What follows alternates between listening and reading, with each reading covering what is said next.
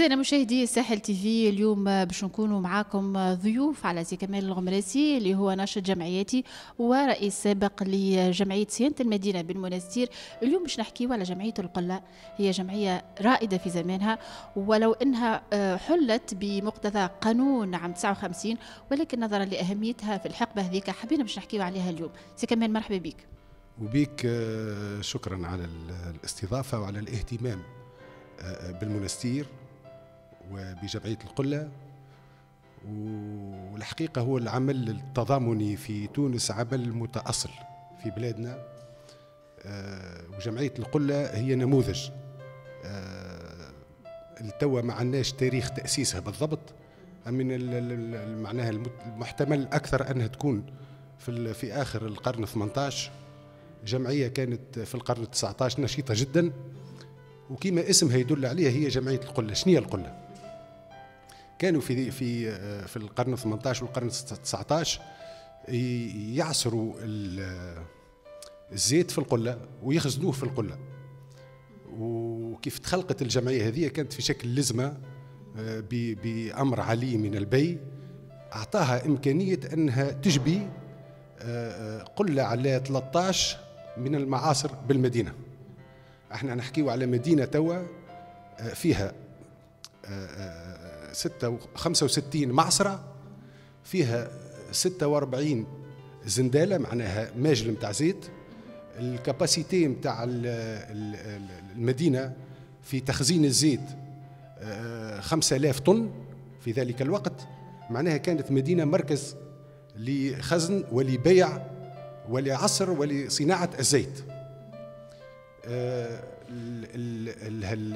اللزمة كي تخلقت كونت آه، آه، رصيد مالي مهم جدا. في سنوات الصعبة قلنا معناها نحكيو على 65 معصر ونحكيو على الطاقة هذه الكل.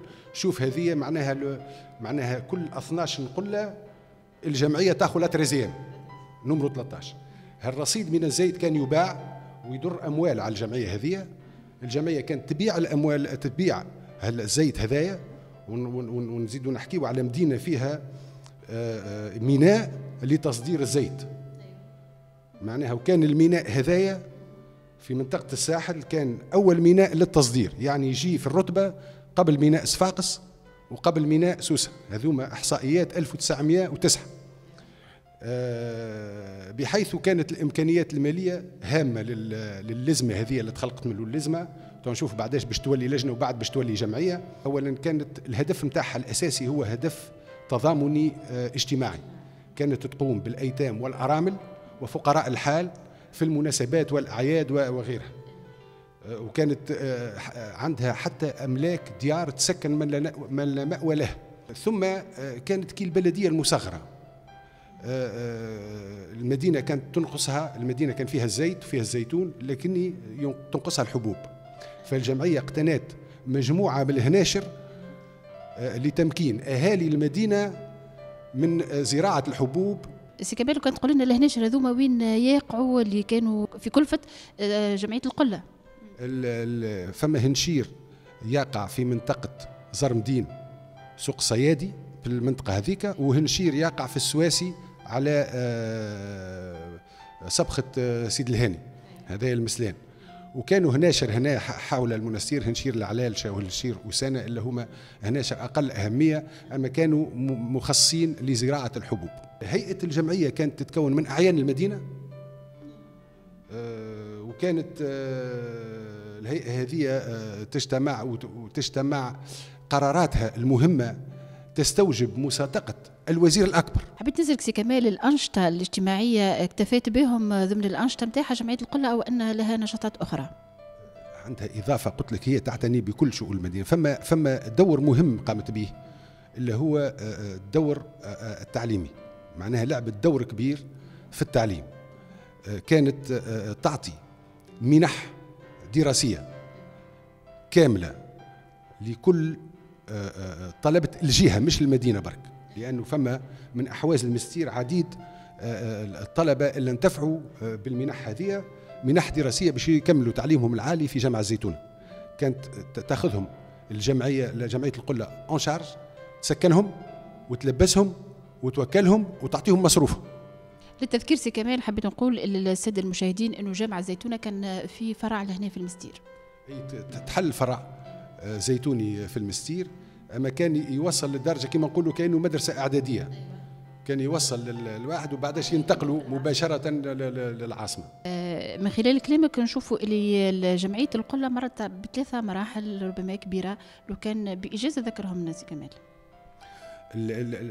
المرحلة نتاع الأحداث الأحداث نتاعها كانت في شكل لزمة. اللزمه تعطيها ستانكت جوريديك تعطيها قوة لجمع الأموال. والأموال نتاعها مهم ان نعرفوا منين تجي الفلوس. زيادة على القلة هذه اللي يلموا فيها الزيت كانت فما الهبات. والجمعية باعتبار دورها الاجتماعي كانت تقبل حتى ما يسمى بالأحباس. كانوا بعض الأثرياء يحبسوا أملاكهم على الجمعية. نظرا لو كان توضح لنا أكثر. يعني يعني آآ آه، آآ آه، آه، إنسان يشوف في الجمعية والدور اللي تقوم فيه للقيام بالأعمال الخيرية ويحب يساهم في الأعمال الخيرية هذه يكتب للجمعية حبس يكتب قطعة أرض أو أو محلات تجارية أو عقارات يكتبهم باسم الجمعية آه، آه، آه، ويحبسهم عليها معناها معناها كل لا ينتفع بها حد إلا الجمعية للقيام بدورها معناها الاجتماعي المهم في في المدينة. من لجنة إلى لجنة ثم إلى جمعية. من الفترة نتاع اللجنة ما عندناش عليها برشا وثائق، اللي عندنا عليها برشا وثائق هي الجمعية. الجمعية. لأنه بعد آه، بعد ما تكون اولا نقولوا أنها آه، تكونت آه، بلدية المستير 24 جانفي 1870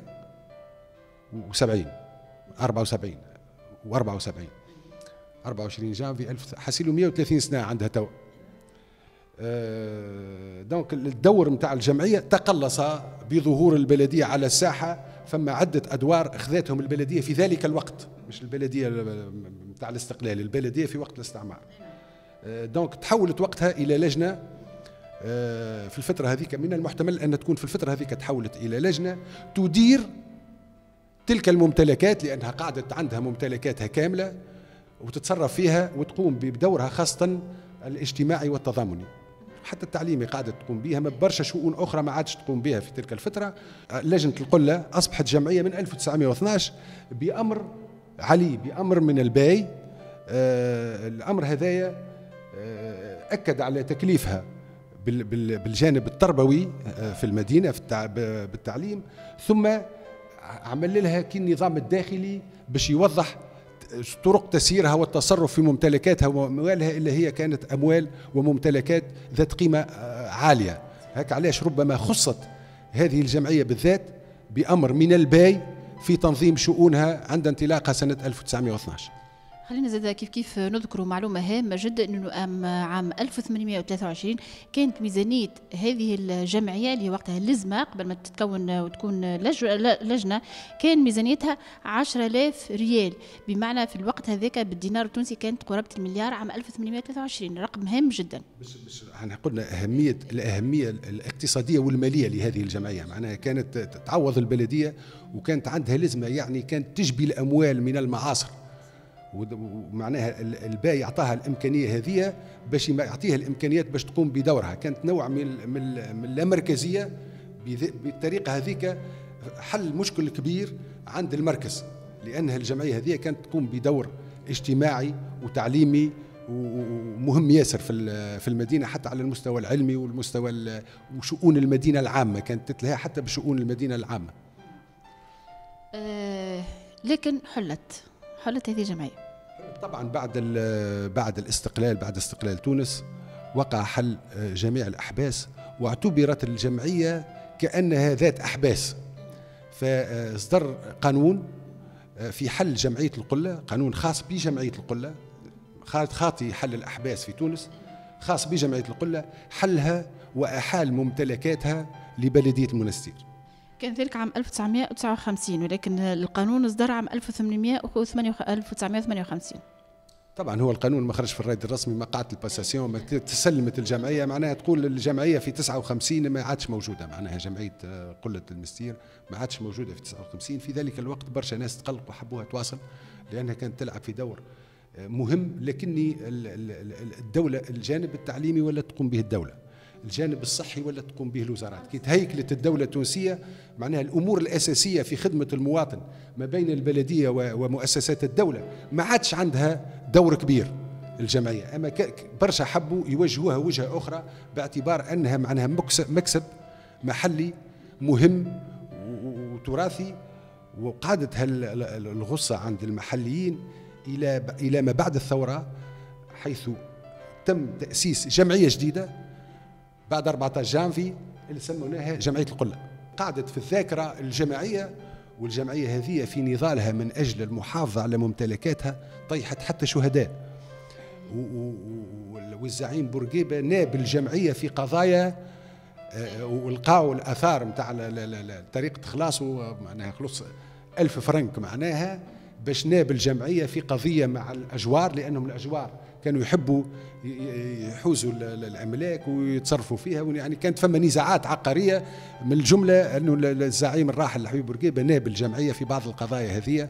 وقلت لك فما حتى أرواح طاحت من أهالي المستير للدفاع على الاملاك هذه اللي كانت معناها من فترة إلى أخرى يشاغبوهم فيها. هكا نشوفوا مدى تأثير العمل الجمعياتي والجمعيات في النظام الاجتماعي اللي تعيشه مجتمعات المدن التونسية. كانت هذه ذا المصافحة مع كمال الغمراسي بخصوص جمعية القلة جمعية تستحق كل التنويه. والحمد لله كما قال كمال إنه فما جمعية أخرى تحمل نفس الاسم تبركا.